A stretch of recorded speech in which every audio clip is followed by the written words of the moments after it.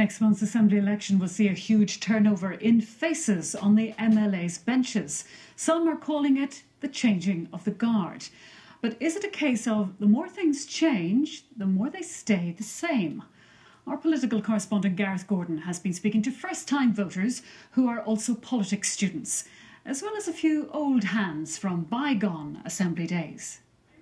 These are the children of the Belfast Agreement sixth form politics students from Belfast Royal Academy and Dominican College. They were born in 1998, around the same time as the deal. The Assembly election will be their first chance to pass judgment on our politicians.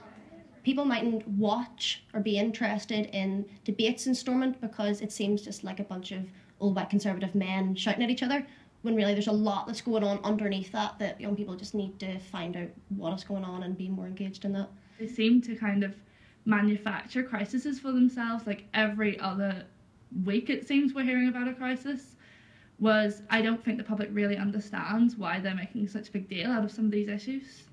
I would like it to again be more representative of the people of the north. Um, I would like more young people, more women, more ethnic minorities, um, rather than just the same faces that you've seen for the past 20, 30 years we have made great progress from the troubles and from the very difficult background that we've come from. The very uh, nature of the executive, I think, is remarkable that you have completely opposing parties. Even at times, if they don't get on well, uh, it's still remarkable in itself. But 18 years on, is that enough?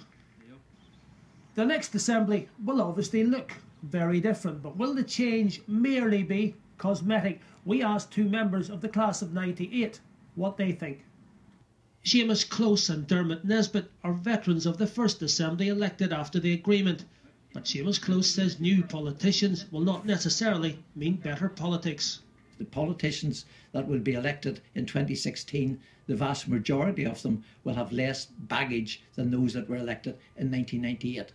But I think it also has got to be remembered that the ones who did the deals were the ones that had come through the hard graft through the 70s, the 80s, and the 90s, and were able to, to a large degree, bury the past and continue to work and try to th- bring things together for the people of Northern Ireland, for the good of Northern Ireland.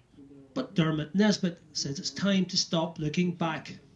18 years after the Second World War, it was Beatlemania. I was a teenager, and to me, the war didn't exist. And we'd moved on from warfare in 1963. Indeed, the Beatles played in Hamburg quite often, a town blitzed, firebombed by the British people on Bomber Command.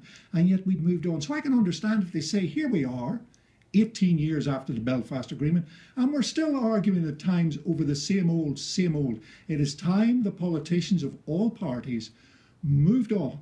Next month, the children of the Belfast Agreement and everyone else will start to find out if that can really happen. Gareth Gordon, BBC Newsline.